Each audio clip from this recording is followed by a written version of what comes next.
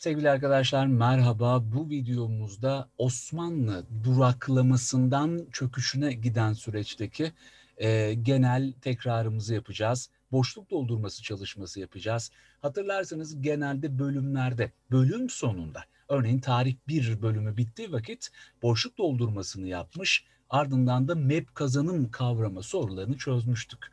Şimdi hayli uzun soluklu bir Osmanlı tarihini konuştuk. Osmanlı kuruluşunu, yükselişini, kültür medeniyetini, duraklama, gerileme ve dağılma dönemini bitirince şimdi artık tarih 2'nin boşluk doldurması çalışmasını yapabiliriz sizlerle birlikte. Bu şekilde de bir genel e, tekrarı yapmış oluruz. Hatırlarsanız Osmanlı'da kuruluş dönemiyle ilgili ya da kültür medeniyetle alakalı boşluk doldurması çalışmasını yapmıştık. Duraklama, gerileme ve dağılma dönemi kalmıştı. Şimdi gelin e, bunları da e, toparlayalım sizlerle ve tekrarımızı yapalım. Evet sevgili arkadaşlar burada e, yani normalde yüz yüze e, derslerde olsa bu gördüğünüz boşluk doldurma kağıdını sizlere veriyorum biliyorsunuz. E, orada e, birlikte doldurup tekrarımızı yapıyor idik ama özellikle video kısmında e, bizi dinleyen arkadaşların da ekstra zamanını çalmamak adına çünkü burada yazmak gerçekten zor e, mouse'la.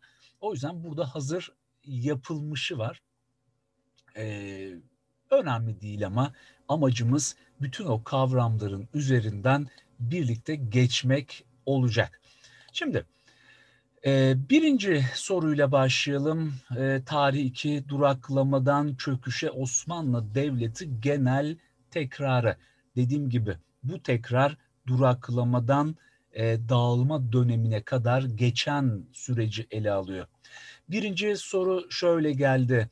Duraklama e, kimin dönemiyle başlar e, ve e, özellikle hangi dönemle kapanır sorusu Sokollu Mehmet Paşa'nın ölümüyle başlar. Yani 1579 Karlofça Antlaşması ile yani 1699 yılında biter. Duraklamayla başladık 1579 1699 yılları arası. 2. Doğuda en geniş sınırlara e, bu dönemde Ferhat Paşa Antlaşması ile ulaşmıştık 1590. Kimin dönemiydi? 3. Murat dönemi. Sevgili arkadaşlar 3. Murat Kanuni'nin torunuydu. Öyle değil mi? Oğlu Selim, 2. Selim. Onun oğlu 3. Murat'tı. 3. Murat döneminde Sokollu hayatını kaybetmiş ve duraklama başlamıştı. 3. Batıda en geniş sınır ise yine duraklama döneminde Bucaş Antlaşması'yla 1672 yılında 4. Mehmet döneminde ulaşıldı. Doğu ve batıdaki en geniş sınırlar. 4. 4. Mehmet dönemindeki en önemli merkez isyanı hangisidir? Avcı Mehmet'ti hatırlayın 4. Mehmet 39 yılla Kanuni'den sonra en uzun tahta kalan Osmanlı padişahıydı. Bu dönemde köprülüler vardı. Denk bütçe hazırlanıyordu. Değil mi? Dönemi hatırlayın şöyle bir. E, bu dönemin önemli merkez isyanı yani İstanbul Yeniçeri isyanı tarihe Çınar vakası diye geçer. Halk arasında vakayı vakvakiye e, vakvak ağacı İslam inancına göre meyveleri insan başına benzeyen bir tür ağaç. E, dolayısıyla Yeniçeri devlet adamlarını Topkapı'dan alıp e, et meydanında bir ağaca asmasıyla birlikte e, bu görüntü halkın e, belleğine girmiş vaziyette. Dolayısıyla Çınar vakası açıkçası benim beklediğim sorulardan biri sevgili arkadaşlar. Neden diyecekseniz hemen alta inelim. Bakın diyor ki bir Yeniçeri isyanı sonucu öldürülen ilk Osmanlı padişahı kimdi? Beşinci soruda. Genç Osman öyle değil mi? Ee, ikinci Osman olarak da bilinen Genç Osman e, katledildi. Hotin seferi sonrasında Yeniçeri Ocağı'nı kaldırmak istedi ama canıyla ödedi. Şimdi bu soruyu sordular sevgili arkadaşlar duraklama döneminde. Ellerinde Çınar vakası gibi güçlü bir isyan var. E, bence kullanabilirler. Dikkat. 6. Yavuz Sultan Selim döneminde Bozoklu Celal'le Tokat'ta isyan etmiş, duraklama döneminde Anadolu isyanlarına o adamın ismiyle hitap edilmişti. Neydi isyanların adı? Celali isyanları. Bozoklu Celal'den alır adını. 7. 1596'da Haçova Meydan Savaşı'nı kazanarak Eğri Fatih'i ünvanını alan padişah 3. Mehmet'tir sevgili arkadaşlar. E, duraklama da konuşurken benim favorim yine e, demiştim Eğri Fatih'ine. Bağdat Fatih ileride soruları var. Bağdat Fatih 4. Murat'ı sordular. Neden Eğri Fatih'ini sormasınlar? 3. Mehmet. 8. soruya geçelim. Osmanlı sadrazamı Avusturya Arşidükü'ne eşitti kanuni döneminde. Hangi antlaşma? İstanbul Antlaşması'ydı öyle değil mi? Diğer adıyla e, İbrahim Paşa. Pargalı İbrahim imzaladığı için İbrahim Paşa Osmanlı protokolde üstündü. Ancak duraklamada duraklamada e, bu eşitliğin bozulması yani artık padişahla arşidüğün eşitlenmesi Zitva Torok antlaşması olacak arkadaşlar. Demek ki İstanbul ve Zitva Torok bir arada düşünmemiz gerekiyor. 9. 1664'te Vasvar Antlaşması ile Uyvar Kalesi'ni alan Köprülü Fazıl Ahmet Paşa için bir e, cümle kullanılırdı hatırlayın. Uyvar önünde bir Türk kadar güçlü. E, buradaki e, yakıştırma Köprülü Fazıl Ahmet Paşa için yapılıyor. Avrupa'da daha sonraki dönemlerde Türk kadar güçlü tabiri yerleşecek arkadaşlar. Birazcık kaydıralım.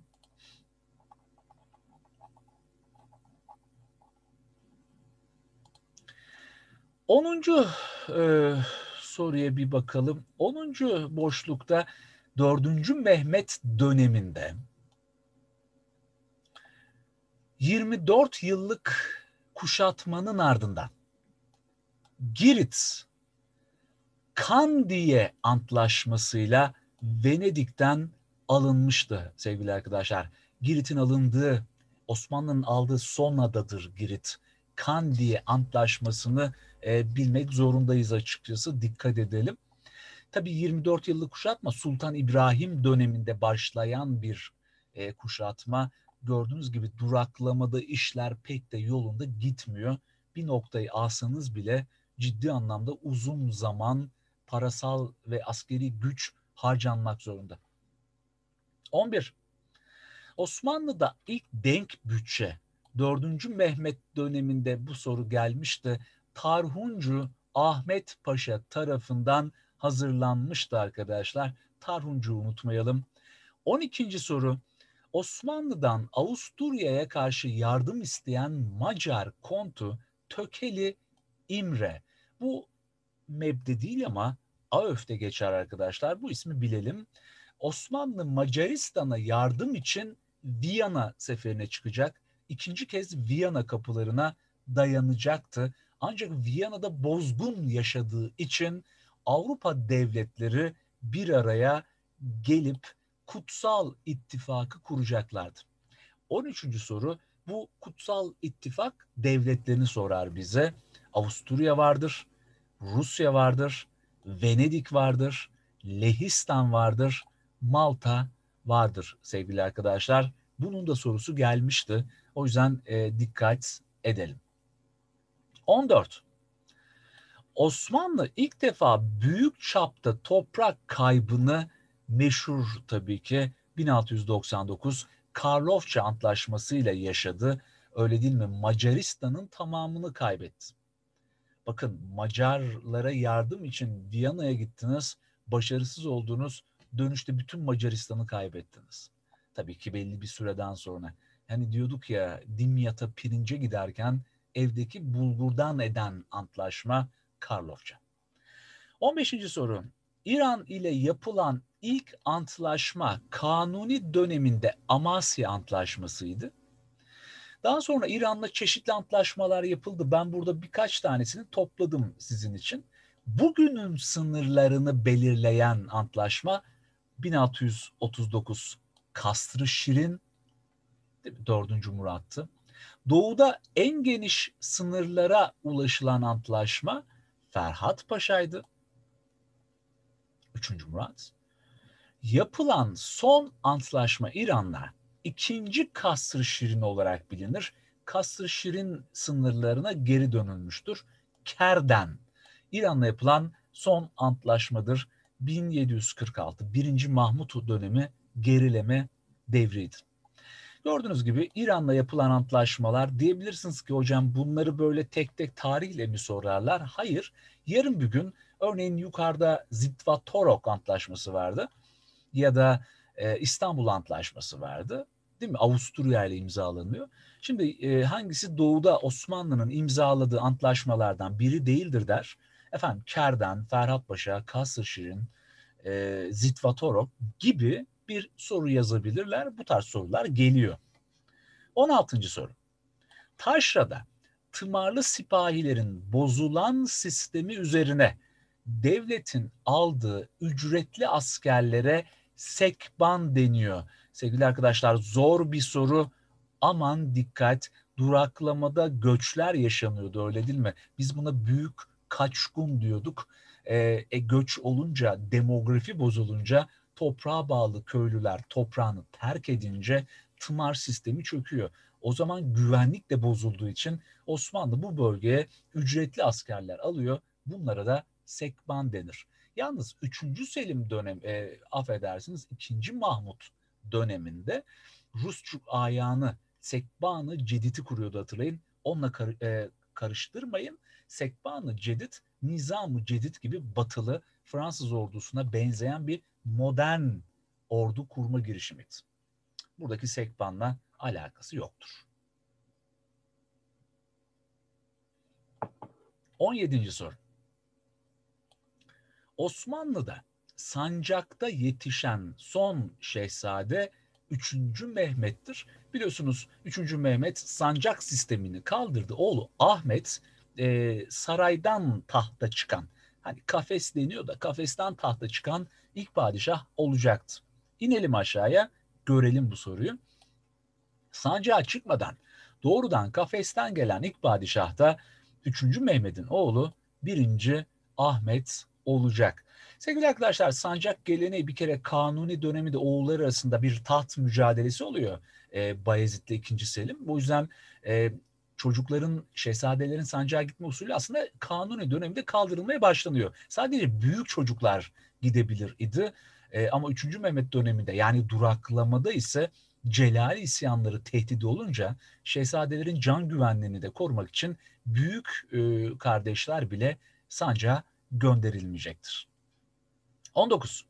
En çok çıkan soruların başında geliyor ve sizin adınız gibi bildiğinizi düşündüğüm soru. En yaşlı ve en akıllı olanın padişah olmasına imkan sağlayan düzen 1. Ahmet dönemindeki Ekber Erşet sistemiydi. Öyle değil mi arkadaşlar? Ekber Erşet e, çok çıkmış bir sorudur. 1. Ahmet Fatih ile birlikte ortaya çıkan kardeş katli yasasını aslında değiştiren de bir padişahtı bu sistemle. 20. Avrupalıların mavi cami olarak e, andığı altı minareli ilk cami Sultan Ahmet Camii'dir öyle değil mi? Birinci Ahmet, Ekber Erşed'in Ahmet'inin yaptırmış olduğu cami. Ee, burada Mavi Cami sorusu geldi. Peki bir daha sorarlarsa neyi yazarlar? Mimarı kimdir? Mimarı Sedefkar Mehmet Ağa, Mimar Sinan'ın öğrencilerinden. Arkadaşlar dikkat edelim ve altı minareli ilk cami olduğunu da unutmayalım. 21. Islahat hareketlerine girişerek Yeniçeri Ocağı'nı kaldırmak isteyen padişah, ilk padişah biliyorsunuz bunu canıyla ödedi. İkinci Osman, genç Osman. 22 Genç Osman'ın öldürülme olayını Osmanlı'nın en trajik vakası olarak e, addedilir. O yüzden Hayle-i Osmaniye denir arkadaşlar. Bunu da bilelim ama çıkma ihtimali zayıf. Halledilmesi, değil mi? Padişah e, padişahların halledilmesi, tahttan indirilmesi anlamına e, geliyor. 23. İlk kez bir Şeyhülislam'ı Ahizade Hüseyin Efendi idam ettiren Osmanlı padişahı kimdir dersek, hatırlayın bunu derslerde Osmanlı'nın en sert padişahlarından biri demiştik. 4. Murat e, idam ettirir arkadaşlar. 24. 4. Murat'a verilen ünvan hangisiydi? E, Revan'ı ve Bağdat'ı aldığı için o gürbüz savaşçı önemli bir maraşaldir şüphesiz 4. Murat. Bağdat Fatih'i e, olacak Burcu Evliya diye bilinen Bağdat'ı alacaktı. 4. Murat'a da dikkat edelim bu açıdan. Peki Bağdat Fatih 4. Murat'tı. Biraz önce yukarıda Eğri Fatih demiştik. Kimdi o? 3. Mehmet öyle değil mi? 25. Kemankeş Kara Mustafa Paşa 4. E, Murat döneminin ünlü sadrazamlarından biridir. E, ama sarayın işlerine çomak soktuğu için e, Kösem'in de gazabına uğradığını söyleyebiliriz. 26. Galata'dan bunu en kısa böyle yazabildim kusura bakmayın ne demek istediğimi anlayacaksınız. Galata'dan Üsküdar'a uçtuğu bilinen alim bu yüzyılda duraklamada 4. Murat döneminde e, kimdir bu adam? Hezarfen Ahmet Çelebi. E, Evliya Çelebi yazar bu süreci. E, Hezar değil mi? Bin fenli. Çok alim bir adamdır Hezarfen Ahmet Çelebi. Kanat takıp uçtuğu söylenir ama başka da duyan eden yok. E, ama fikir güzel bir fikir öyle değil mi? Devam. 27. soru. Alkol, tütün ve gece sokağa çıkmayı fermanı ile yasaklayan padişah ki biz yasaknameleriyle ünlü padişah demiştik hatırlayın. Dördüncü Murat olacak. 28. Dördüncü Murat döneminde devlete duraklamanın nedenleri üzerine raporlar hazırlayan iki önemli alim desem ne dersiniz? Birincisi Koçi Bey, Koçi Bey Risalesi, diğeri ise Katip Çelebi'nin e, Düsturul Ameli arkadaşlar ki orada ıslahatlarla alakalı, medreselerin bozulmasıyla alakalı e, cümleleri var, teşhisi var. Koçi Bey daha çok rüşvet, iltimas, adam kayırmacılık, Yeniçeri'nin bozulmasından bahsederken Katip Çelebi'nin vurgusu biraz daha e, medresenin bozulmasına e, kayıyor. 29. Valide Sultan ünvanını 39 yılda en uzun taşıyan valide sultan kimdir? Hatice Tarhan ya da Turhan diye geçer ama doğrusu Tarhan arkadaşlar. Dördüncü Mehmet'in annesi dördüncü Mehmet, Avcı Mehmet kaç yıl iktidarda kalmıştı? 39 yıl. Kanuni'den sonra en uzun e, tahta kalacak isim de dördüncü e, Mehmet. Annesi de 34 yıl valide sultan. Analı oğlu uzun iktidarları var. 30 duraklama içindeki yükselme devri olarak bildiğimiz dönem köprülüler devridir. Devlet e, duraklama içinde de olsa bir takım parlak işler yapıyor bu dönemde. Hatırlarsanız tersini de söylemiştik. Yükselme içindeki duraklama ise ikinci Bayezid dönemiydi. E, Fatih'in oğlu evet yükselme devri ama o dönemde Cem Sultan olayından dolayı devlet e, fetihler yapamıyor idi. Cem Avrupa'nın elinde bir kozdu hatırlayın. 31. Şartlı sadrazam olan ilk kişi Köprülü Mehmet Paşa'dır sevgili arkadaşlar. Padişaha bazı şartları dayatarak sadrazamlığı kabul etmişti. 32. Osmanlı'nın ilk vakanüvisi Mustafa Naima, Naima tarihidir eseri e, resmi tarihçi sevgili arkadaşlar Mustafa Naim'e çıkmış bir sorudur. Hatta iki tane soru geldi. Osmanlı'da resmi tarih yazarlarına ne denir? Vakanüvis bu soru geldi. İlk vakanüvis kim? Birkaç yıl sonra Mustafa Naim Ayda e, sordular. 33. Yazdığı hatları elimize ulaşan ilk padişah. Bu adamı birazcık e, geç hatırlayabilirsiniz ama Karlofça'yı imzalayan adam Edirne vakasıyla devrilip Lale devri başlayacaktı. İkinci Mustafa arkadaşlar e, küçük bir parantez açmıştık biz duraklamanın sonunda ikinci Mustafa'ya. 34. Sefere son çıkan padişah da ikinci Mustafa'ydı. E, Zenta bozgunu yaşanınca Avrupa gelip Avrupalı devletler Haçlı İttifakı ya da Kutsal İttifak e, Karlofça'yı imzalatacaklardı. 35. Ava merakı ile bilinen padişah kanuniden sonra en uzun kalan Avcı Mehmet, 4. Mehmet'tir. E, bu soru ÖABT tarihte geldi sevgili arkadaşlar. Tarih öğretmenlik alanda e, avcı olarak bilinen padişahı sordular. 4. Mehmet'tir. 36. 1681 yılında 4. Mehmet döneminde Rusya ile imzalanan ilk antlaşma Çehrin Bahçe Saray antlaşmasıdır. Kırım'da öyle değil mi? Rusya adım adım e, güçlenecek bu yüzyılın sonunda. Petroyla, büyük petroyla inanılmaz bir atılım yapacak ve Osmanlı'yı tehdit eder bir devlet haline gelecek. E burada ilk yoklama söz konusu Kırım'ı Osmanlı geri alacak ama e, dikkat edin bundan sonra Rusya ile işler pek yolunda gitmiyor. Günümüzde Rus politikası, Türkiye-Rusya politikaları önemlidir. O yüzden ilk antlaşma Bahçesaray, Çehrin'i mutlaka bilelim sevgili arkadaşlar. Kritik bir soru olabilir. 37. soru. E, duraklama bitti. Duraklamayı bitirdik e, 36'lık boşluk doldurma çalışmasıyla devam edelim. 37 gerileme dönemi Karlofça Antlaşması ile başlar. 1699 yaş antlaşmasıyla biter 1792. Yaşla birlikte artık dağılma başlayacak.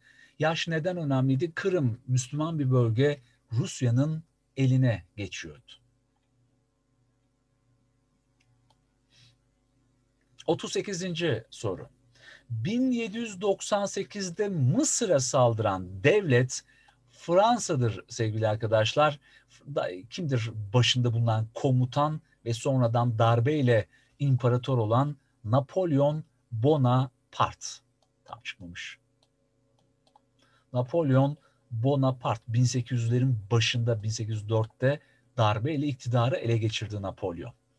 Ama Mısır işgal ettiklerinde komutant. 39 hangi antlaşma ile Osmanlı kaybettiği toprakları geri alabileceğini düşündü. Meşhur Baltacı Mehmet Paşa desem Prut antlaşmasıyla e, Osmanlı Rusya'yı yener ve Karlofça'dan sonra tekrar kazanabildiği için acaba kaybettiğimiz yerleri alabilir miyiz? Ümidini taşıyacak ama bu kısa sürer. Neden? 40. soruya bakalım.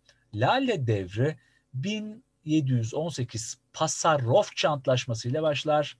1730 Patrona Halil isyanı ile biter. E, Pasarofça Antlaşması e, Avusturya ile yapılan Peter Varadin Savaşı'nın sonucunda imzalandı ve Osmanlı artık Avrupa üstünlüğünü kabul etti. Haliyle Lale devrini başlatıyordur. Prut'taki umut artık burada bitmiştir. 41. Fransa'ya verilen kapitülasyonlar birinci Mahmut döneminde sürekli hale geldi. Birinci Mahmut Lale devrinden sonra gelen padişahtı değil mi? Üçüncü Ahmet'ten sonra gelen padişahtı. E, kapitülasyonlar sürekli hale gelmenin yanında avarız vergisi de e, sürekli hale gelmişti öyle değil mi? Bir kereye mahsus olağanüstü hal vergisi avarız o da sürekli hale geldi. 42. İlk defa Müslüman bir bölgenin kaybedildiği 18. yüzyılın en ağır antlaşması Küçük Kaynarca antlaşmasıdır 1774. Bakın burada Kırım kaybedildi derken Kırım önce özerkleşti. Osmanlı'dan koparıldı. Daha doğrusu Rusya kopardı.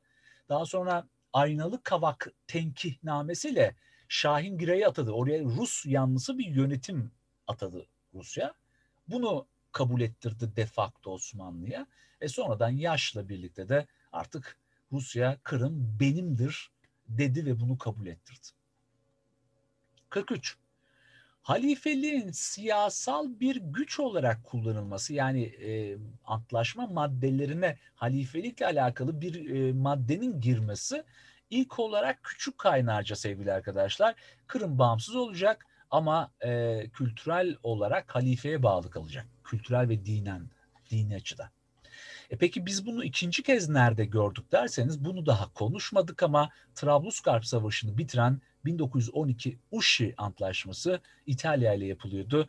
E, Uşi İtalyanlara bırakılacak e, geçici olarak belki de ama e, Uşi Antlaşması'yla e, Trablusgarp, Libya yani e, ama e, halifeye de bağlı kalacaktı kültürel olarak. E tabi bunlar işin birazcık yarım elma gönül alma hikayesi. Çünkü bölgeyi kaybettikten sonra bir daha Osmanlı e, toparlayamıyor iş.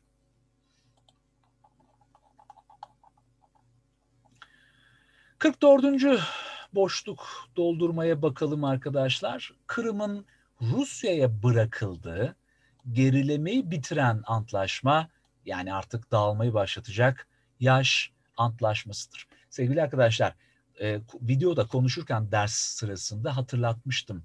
Küçük Kaynarca'yla Kırım e, bağımsız oldu. Yani ayrıştı Osmanlı'dan. E, ama yaşla Rusya'ya bağlandı. İkisi arasında fark var. Aman dikkat. 45. Türklerin Avrupa'dan atılarak Osman e, İstanbul merkezli bir Rus devleti kurma projesine Grek projesi denir. Prens Potemkin doğu planı ile birlikte çıkıyor karşımıza ki eşi e, sevgilisi 2. Katarina torununa Konstantin adını veriyor. İstanbul'u alıp Türkleri atıp Bizans'ı yeniden kurmanın hayali içindeler Rusya'nın önderliğinde. 46. Rusya ve Avusturya'nın Osmanlı topraklarını Balkanlarda paylaşması projesine ise Dakya projesi denir sevgili arkadaşlar. Bunlar müfredatta var ama sorusu gelmedi. Bence tehlikeliler. Özetle Avusturya ile Rusya Osmanlı'yı Balkanlardan atıp Dakya'yı kuracaklar. Dakya devletini Rusya Osmanlı İstanbul'dan atıp Grek devletini kurmayı planlıyor. 47. Osmanlı denge politikasını ilk kez e, Fransa'ya karşı değil mi İngiltere ve Rusya'nın desteğini alarak uyguladı. Kimin dönemi? Üçüncü Selim dönemi. E, burada tabii şu önemli e, Napolyon Bonaparte geliyordu değil mi? Yukarıda sorusu vardı. Ama Napolyon e, burada Mısır işgal ettikten sonra Osmanlı, İngiltere ve Rusya'nın desteğini alınca Napolyon Mısır'daki donanmasını kaybediyor. Ancak yola devam edecek. Orta Doğu'dan Suriye'ye doğru, Akka'ya doğru gelecek arkadaşlar. Akka'da Napolyon'u durduran önemli bir Osmanlı komutanı var. Cezar Ahmet Paşa. Cezar Ahmet Paşa'yı da unutmayalım. Ee, hangi orduyla başarı sağlayacak? Nizam-ı Cedid 3. Selim'in kurduğu Fransız ordusunun benzeri olan bir e, ordu. Manzara şu öyle değil mi? E, Fransız ordusuna karşı Fransız ordusunu örnek alarak kurulan Nizam-ı Cedid'in ilk ve tek başarısı e, geliyor Akka'da. Napolyon'un sözü de vardı ya hatırlayın diyesiymiş ki e, burada durdurulmasaydım bütün doğuyu alabilirdim. E, tarih beni bir ihtiyarın elinde oyuncak etti. O ihtiyar Cezar Ahmet Paşa. 49. Lale Devrim. 1718 30 aralığında bu çıkmış bir AÖF sorusudur aralığı dikkat edin arkadaşlar. Peki kimdir padişahı Lale Devri'nin? Üçüncü Ahmet. Birinci Ahmet 1600'lü yılların padişahıydı. Üçüncü Ahmet 1700'lerin. 50. Lale devrinde Osmanlı biliyorsunuz ilk geçici elçiyi gönderdi Paris'e. 28 ee, Mehmet Çelebi ilk geçici elçi. 100 yılın sonunda 3. Selim döneminde ilk daimi elçi Yusuf Agah Efendi gönderildi Londra'ya. Yakın dönemde e, Yusuf Agah'ı da sordular biliyorsunuz. E, derslerde bunu konuşmuştuk. Peki 51. soru. Lale devrinde matbaayı açan iki önemli isim desem İbrahim Mütefferika'yı hemen yapıştırırsınız ama şüphesiz gölgede kalmış Sayit Efendi'ye de dikkat edin. Asıl önemli adam Sayit Efendi 28 Mehmet Çelebi'nin yani Paris elçisinin oğlu. Daha sonra kendisi de Paris sefiri olacak. E, dolayısıyla bütün o matbaayı, kağıdı, alet, edevatı Fransa'dan getirten adam aslında Said Efendi. Ama matbaa Mütefferika'nın evinin bodrumunda e, açılıyor arkadaşlar. Ve biraz daha hatırlanan isim oluyor bu yüzden. 52. Matbaada basılan ilk eser Vani Mehmet Efendi'nin Van Kulu lügatıdır. Bu bir Türkçe-Arapça sözlüktür. Cevheri'nin e, sözlüğüdür arkadaşlar. Vani Mehmet Efendi bunu e, kaleme alıyor. 53. soru ise Osmanlı'da batıya açılan ilk pencere olarak bilinen 28 Mehmet Çelebi'nin eseri Paris Sefaretnamesidir sevgili arkadaşlar. E, sefirler sefaretname yazarlar değil mi? Yani e, elçilik sırasında tuttukları notları paylaşırlar. 54. soru. Osmanlı'da Lale devrinde matbaa açıldı biliyoruz. Peki matbaaya karşı çıkan sınıflar var mıdır? E bir, bir kere e, kalem sınıfı yani değil mi ulema, e, ilmiye sınıfı karşı çıkar. Hattatlar karşı çıkar. Çünkü el yazmaları meşhurdur o dönemde ve müstensihler. Müstensih kitap çoğaltanlar anlamına gelir arkadaşlar. E bunlar da yine el yazmaları ile kitapları çoğaltıyorlardı. Mesleklerinden olma kaygısı taşıdıkları söylenir bu dönemde. 55.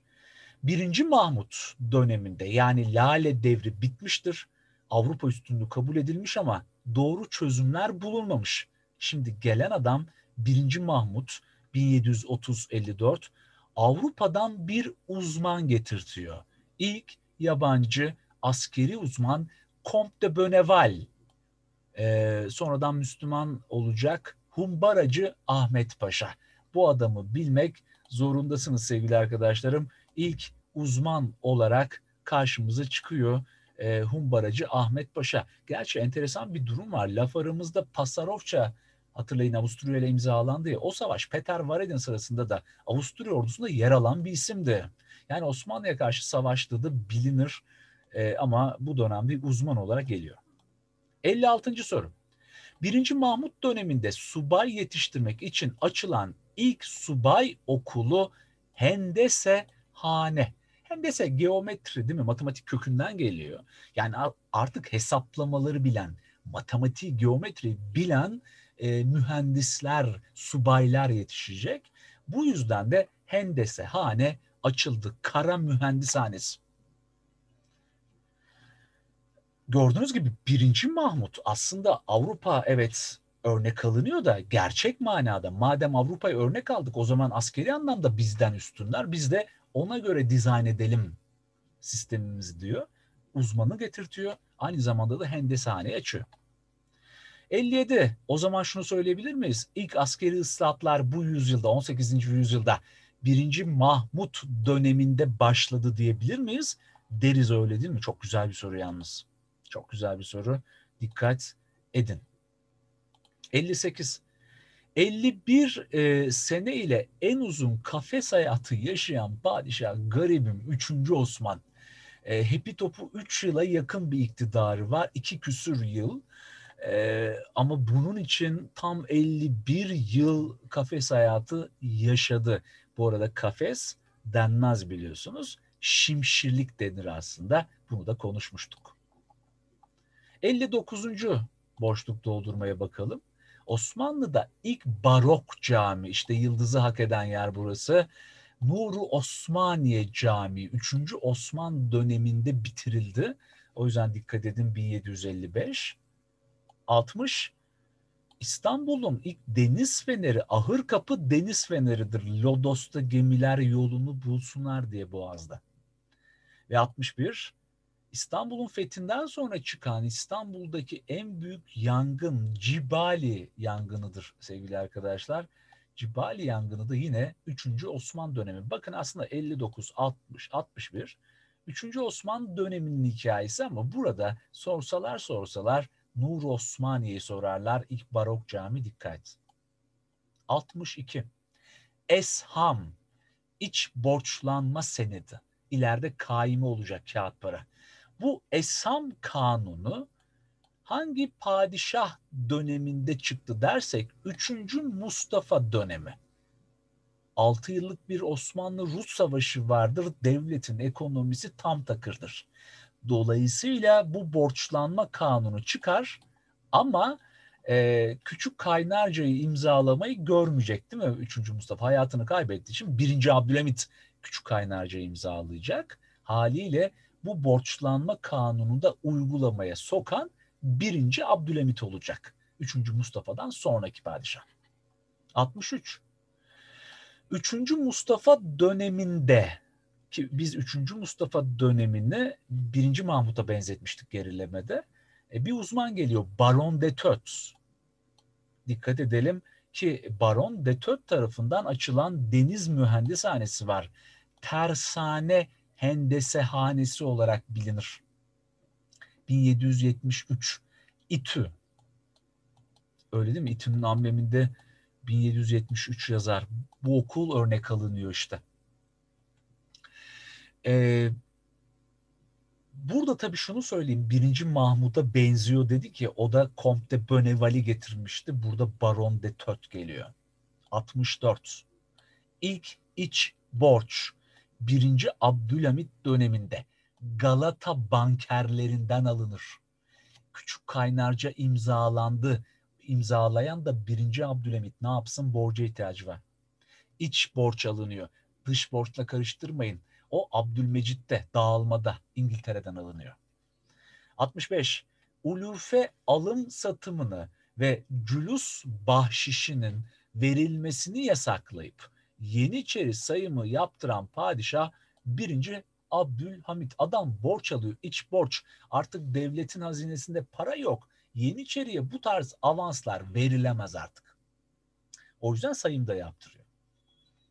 66. Meşveret meclisini kurup taşra ile merkez arasında halkla yönetici arasındaki uyumu sağlamak için meşveret kurulur ve 22 alimden laihalar isteyen padişah 3. Selim'dir. Laiha kamu yönetimi reform tasarısı rapordur ama uygulanmaya sokulacaktır belli ki ve neredeyse bütün alimler e, hünkârım bu ordu Yeniçeri ile bu iş olmaz batılı bir ordu kuralım diyecekler. Yani reformu askeriyeden başlatmayı uygun buluyorlar. 67. soru ilk özel matbaa 3. Ahmet döneminde İbrahim Mütefferika öyle değil mi açıyordu Sait Efendi ile Lale devrinde açılmıştı hatırlatmak için koydum ama ilk devlet matbaası 3. Selim döneminde çıkar karşımıza yani 18. yüzyılın başı ve sonu. Biliyorsunuz 3. Selim radikal ıslahatçı reformcu bir padişahtı ee, ve dolayısıyla aslında tutarlı reformlar yapmaya çalışıyor. Bakın artık özel matbaa değil devlet eliyle yapılıyor. 68. 3. Selim dönemine verilen genel ad Nizam-ı Cedid. Yeni düzen. E, bu soru çıkmış bir ön lisans sorusuydu ki bu adlı bir ordu da kurulacak idi sevgili arkadaşlar. 69. soruya bir bakalım. Burası önemlidir. Bir yıldız koyalım çünkü sevdiğim bir soru. Kafanıza çok takılıyor biliyorum. E, yer yer bu soruları soracaksınız. O yüzden ben şimdiden toparlayayım istedim. Bu ana kadar çok vaka konuştuk. Öyle değil mi? Dağılmayı da bitirdiğimiz için vakalar birikti. Şimdi gelin bunları bir toparlayalım. Aşağıdaki vakalarla hangi padişah devrildi yahut devrilmek istendi. Yani hepsi devrilmemiş. Bakalım mı? Edirne vakası. İkinci Mustafa Hattat Padişah devrildi. 3. Ahmet Lale Devri başladı. Artıyı koyduk. Patrona Halil isyanı. Lale devrini bitiren isyan değil miydi arkadaşlar? Dolayısıyla Lale devri padişahı 3. Ahmet'i devirdiler ve bunda başarılı oldular. Bir artı da buraya. Kabakçı Mustafa isyanı. Bu yüzyılın gerilemenin sonunda 3. Selim devrilmişti. Hatta 1800'lerin tabii başında 1807. Kabakçı Mustafa isyanıyla 3. Selim devrildi. Gelelim 19. yüzyıla. Kuleli vakası Osmanlı'nın ilk modern darbe girişimi olarak biliniyor. Ee, Abdülmecit tanzimat ve ıslahat fermanlarını kabul eden Abdülmecit'i devirmek istediler. Başarısız olundu. Günümüzün tabiriyle bir kalkışma olarak kaldı. O yüzden bir eksiği yapıştıralım. Çırağan vakası istibdat dönemini başlatan 2. Abdülhamit biliyorsunuz 93 Harbi'nden dolayı parlamentoyu kapatmış idi. E, bu yüzden bu yüzden Ali Süavi, Jön Türklerden Ali Süavi ve arkadaşları Abdülhamit'i devirip 5. Murat'ı yeniden tahta çıkarmak istediler. Ama e, çırağın hepsi yakalanıp öldürüldü. Başarısız bir kalkışmada. 31 Mart vakası ise yine 2. Abdülhamit'e karşı bu sefer İstanbul'daki bu isyana e, isyanı bastırmak için gelen hareket ordusu ki Mahmut Şevket Paşa komutasında Mustafa Kemal var, Enver Paşalar, İnönüler vardır hep. Abdülhamit 1909'da devrildi bu sefer. Gördüğünüz gibi vakaları toplamaya çalıştım. Bence burası hakikaten kritik bir yer. E, dikkat edelim bu soruya. 70. boşluğa bakalım. E, böylelikle de gerileme dönemini e, bitirmiş olduk sevgili arkadaşlar. E, elimizde ne kadar soru var derseniz bakın artık dağılmaya geçeceğim. Dağılma yaklaşık bir 153 sorudan e, ibaret. E biraz isterseniz gelelim, biraz daha bitirelim en azından. E, bir ara veririz çünkü hepsini bir videoda çözmeyelim, yormayalım ekstradan sizi. Şimdi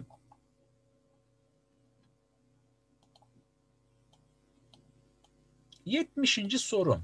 Dağılma dönemi yaş antlaşmasıyla başlar 1792, Mondros Ateşkes Antlaşması 1718'de biter.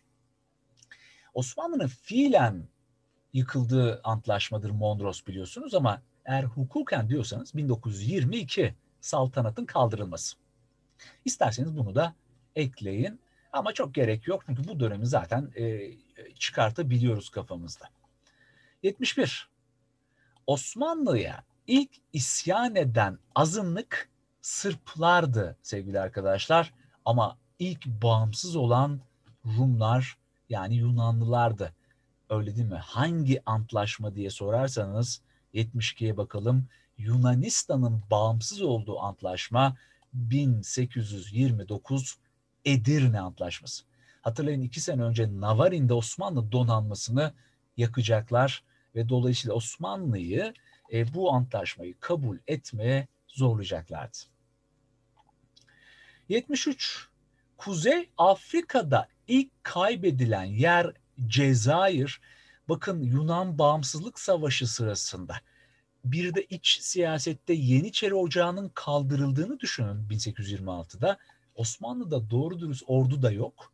Bu boşlukta tam bir kurtlar sofrası düşeni harcıyorlar. E, Fransa bu boşluğu iyi değerlendirip Cezayir'i işgal eder 1830'da. Dolayısıyla Kuzey Afrika'da ilk işgal edilen, ilk alınan yer, kaybedilen yer belki de Cezayir. Ama son kaybedilen yer ise genelde sınavlarda hep bu soru gelmişti. Biz sonraki haftalarda konuşacağız. Trablusgarp yani bugünkü Libya 1912 Uşi Antlaşması'yla kaybediliyor. 74. Yunan bağımsızlık savaşını desteklemek için bölgeye gelen şair. Biliyorum bunu okuduğunuzda çok gereksiz diyeceksiniz ama devlet müfredatta Lord Byron'a yer veriyor fazlasıyla. Yahya Kemal'in şiirini paylaşıyor hatta. Ee, Balkanları gezdim de Byron'ın bedbahlığını görüyorum gibi bir şiiri vardı. Ders notları kitabımızda bunu yazmıştım pasaj olarak. E şimdi buna önem veriyor. O yüzden biz de en azından analım. Tabii şöyle bir düşünce var Avrupa'nın gözünde. Hani diyorum ya Yunanistan şımarık bir çocuk. Atina demokrasisi, Avrupa'yı etkileyen birincil e, merkez, Aristolar, Platonlar, Sokratesler, Avrupa'yı etkileyen isimler, düşünürler. Haliyle Avrupa'daki romantik bakış şudur, e, bu Yunan medeniyetini barbarların elinden artık kurtarma vakti geldi. O barbarlar da Osmanlı oluyor e, Avrupa'ya göre. Byron da tam da bu hevesle gelecek Yunanistan'a ama savaşamadan hasta düşüp ölecek. Devlet önemsiyor. Şuna benzemiyor mu ama? Ben yerinizde olsam bunu da bilirim. Ee, Cervantes'e benziyor öyle değil mi? Hani şu Kıbrıs alındığında e, buna misilleme olarak Haçlılar gelmiş. İnebahtı'da Osmanlı donanmasını yakmıştı. Orada e, Cervantes de vardı ki sol kolunu kaybetti bilinirdi Don Quixote'un bu ünlü yazarının. Dolayısıyla Cervantes ile Byron arasında da bir e, böyle bir köprü var gibi sanki. E, bilmiyorum yarın bir gün böyle bir e, değerlendirme yaparlar mı ama elimize dursun. Sevgili arkadaşlar e, isterseniz 75'e geçmeden burada bir e, kalalım, bir mola verelim ki daha 150'lere kadar getireceğiz işi. Çok daha kritik yerlerde var yine.